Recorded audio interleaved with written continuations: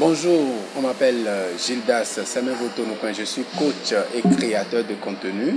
C'est un plaisir pour moi de vous retrouver après quelques jours euh, d'absence où je suis concentré sur d'autres euh, projets, notamment sur mon dernier livre que je suis en train de, terminer.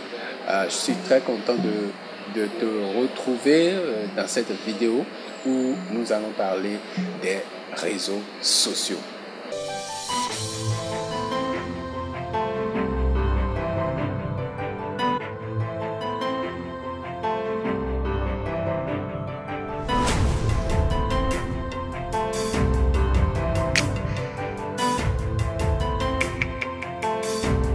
Comment te libérer de l'esclavage des réseaux sociaux? Et c'est le thème sur lequel j'aimerais échanger avec toi aujourd'hui. Ici, pour toi, tu arrives à te contrôler, tu arrives à gérer ton téléphone euh, comme il le faut. Euh, cela veut dire que cette vidéo ne te concerne pas, mais si tu te retrouves euh, face à des challenges, face à, des défis où tu as du mal à te concentrer, où tu as du mal à te discipliner par rapport à ton téléphone portable, notamment euh, sur les réseaux sociaux, je vais parler de Twitter, je vais parler de WhatsApp, je vais parler de Facebook et je vais parler d'Instagram. Alors aujourd'hui, n'est-ce pas que nous avons euh, nos projets, nous avons nos objectifs, que ce soit nos objectifs professionnels comme personnels.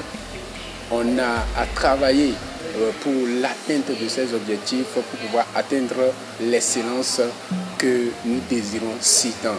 Mais le défi est que nous nous surprenons la plupart du temps en train de chatter, en train de défiler notre fil d'actualité sur Facebook, en train de, regarder des photos sur Instagram, en train de faire des commentaires, en train de faire des choses sur les réseaux sociaux notamment qui n'ont pas forcément un rapport avec nos objectifs ou nos projets.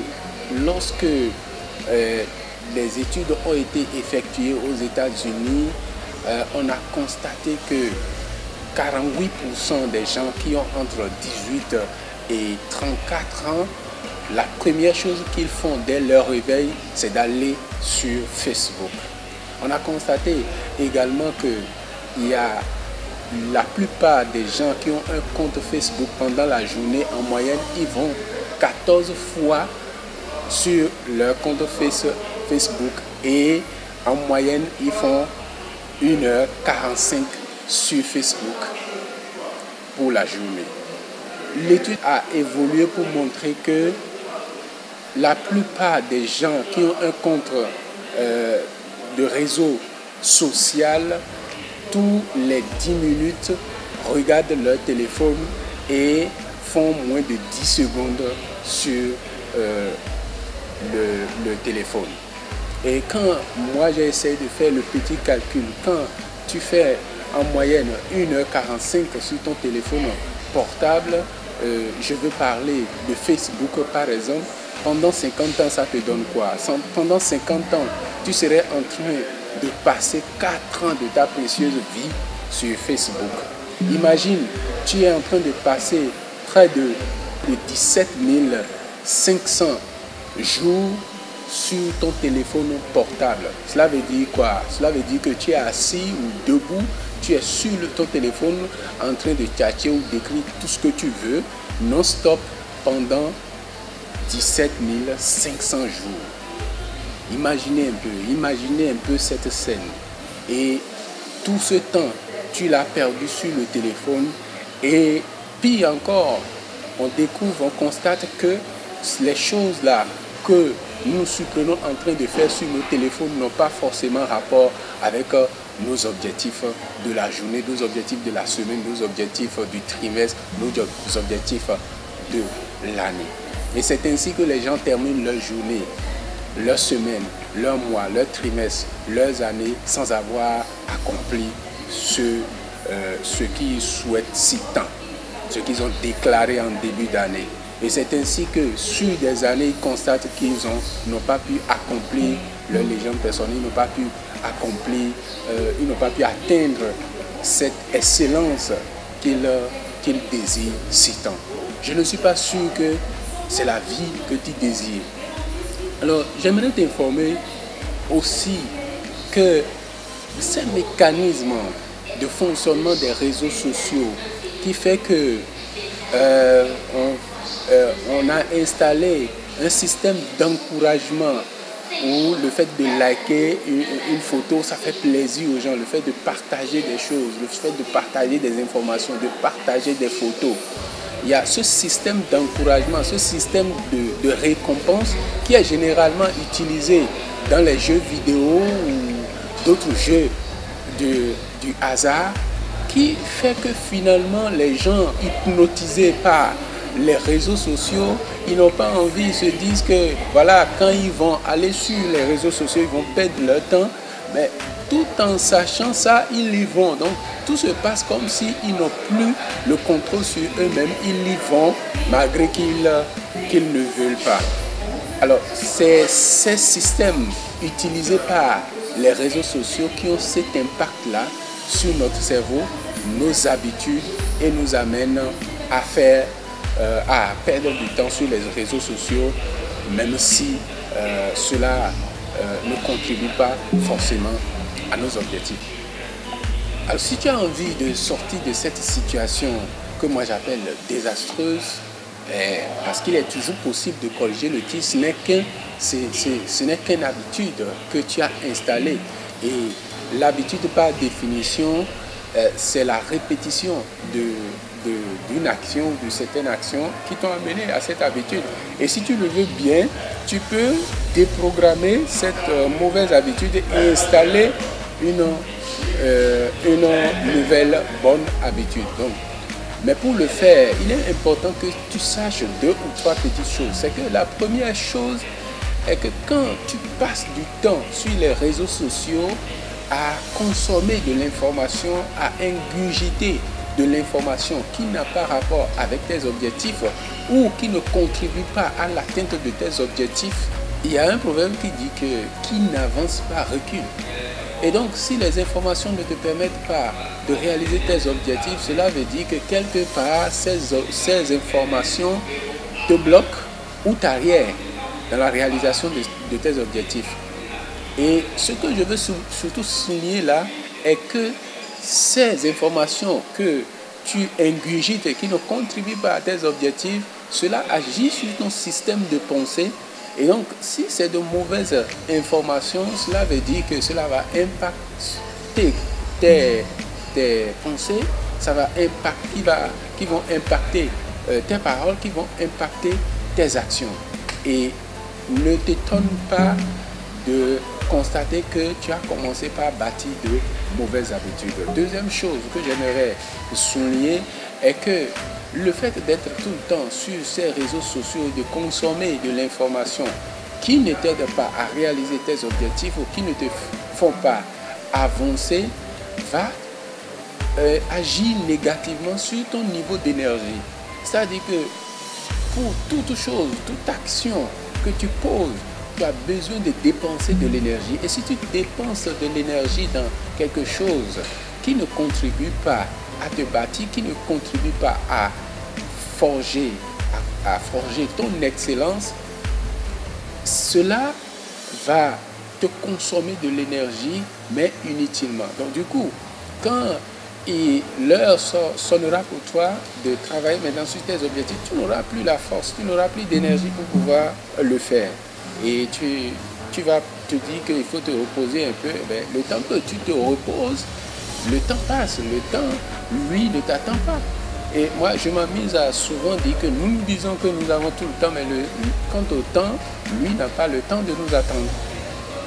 Alors, l'énergie que tu as doit contribuer comme de l'eau de pluie à arroser tes rêves pour pouvoir les voir germer, grandir et pour donner de bons fruits pour ta vie personnelle et professionnelle. troisième chose que j'aimerais souligner avec toi est que quand tu passes ton temps sur les, les, réseaux sociaux et tout, le temps tu es plongé dans ton ordinateur, plongé dans, dans ton téléphone, cela pourrait avoir un impact négatif sur ton état de santé.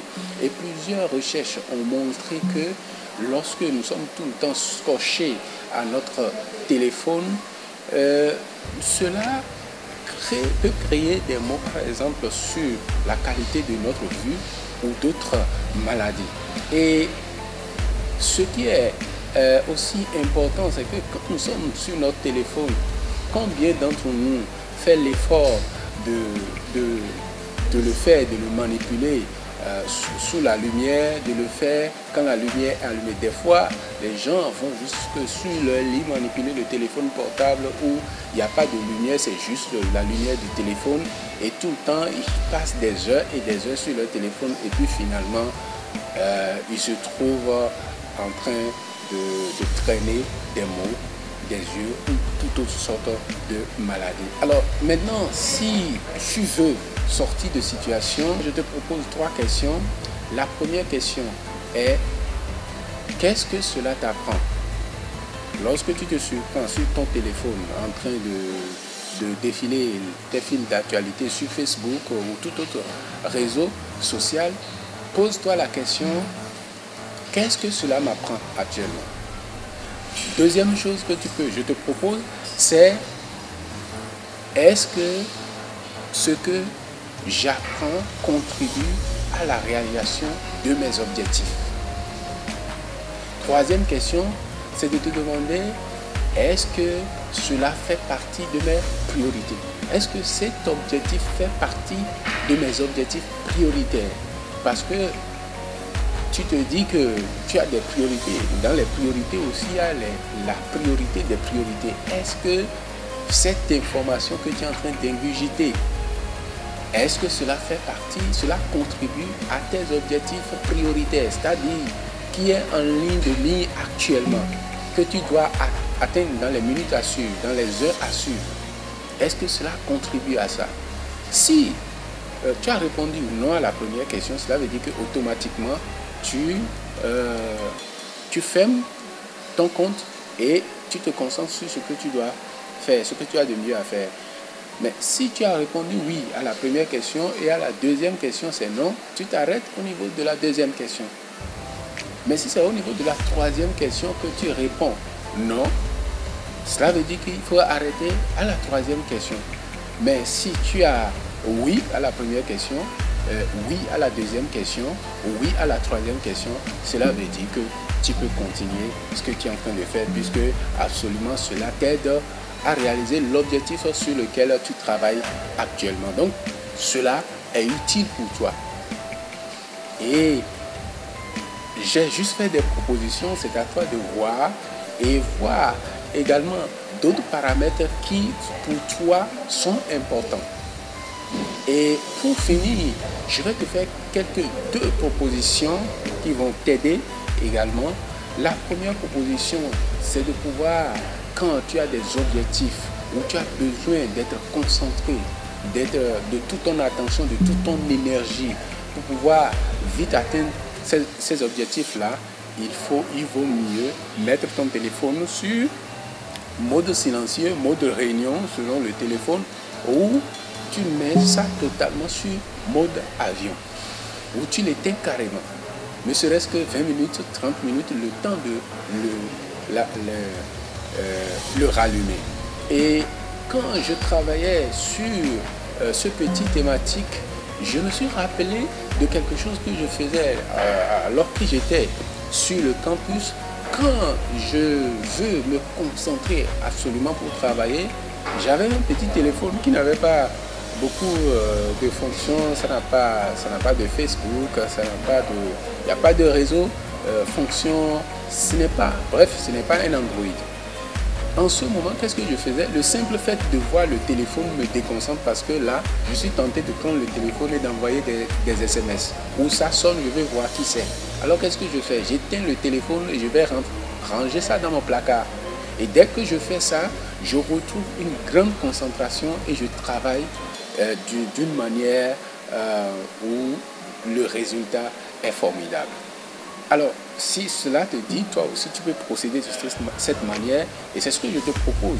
Et tout récemment, quand je me suis rappelé habitude que j'avais et que je travaillais sur mon livre dont j'étais parlé au début de cette vidéo, je l'ai essayé, je suis allé plus loin. Qu'est-ce que j'ai fait? J'ai tenté de faire 24 heures sans mon téléphone portable. Et quand je l'ai réussi, j'ai dit waouh, mais ça fait du bien. Je suis resté sans appel, je suis resté sans Facebook, je suis resté sans WhatsApp et les autres fonctions pendant 24 heures où j'étais absolument concentré sur euh, le livre là.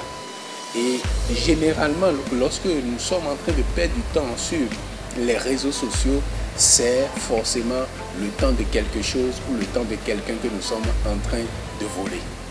Peut-être le temps de la famille, le temps de, notre époux, le temps de notre épouse, le temps de nos enfants, et etc.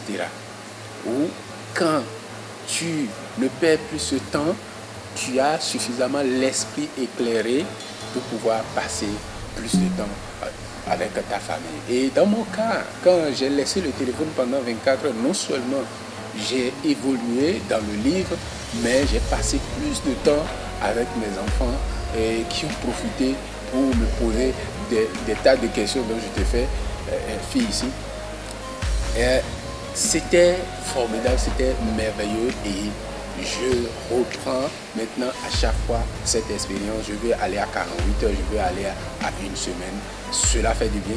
Je te reviens dans une autre thématique où nous allons, ou bien même dans une formation où nous allons approfondir ce thématique parce que j'ai constaté que beaucoup de cas d'entreprise, beaucoup de chefs d'entreprise ont ce défi.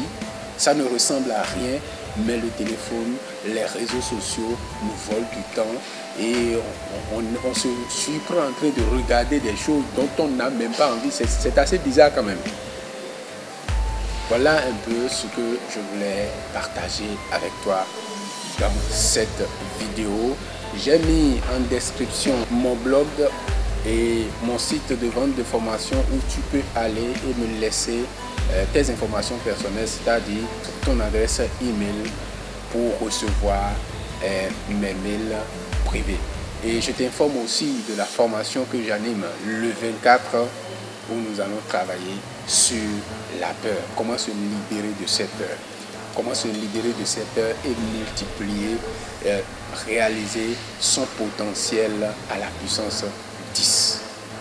C'est possible de le faire. Je te reviens dans des vidéos pour, plus de détails sur cette formation. Ça va être euh, animé le 24 novembre, le 24 de ce mois, à Cotonou, à Bénin Royal Hôtel, à partir de 15h. Ce que tu as à faire, je te mets le mail dans la description de cette vidéo où tu peux t'inscrire. Je te mets également le contact où tu peux envoyer ton nom, ton prénom et ton contact pour la confirmation de ta participation. D'ici là, mène une vie d'excellence.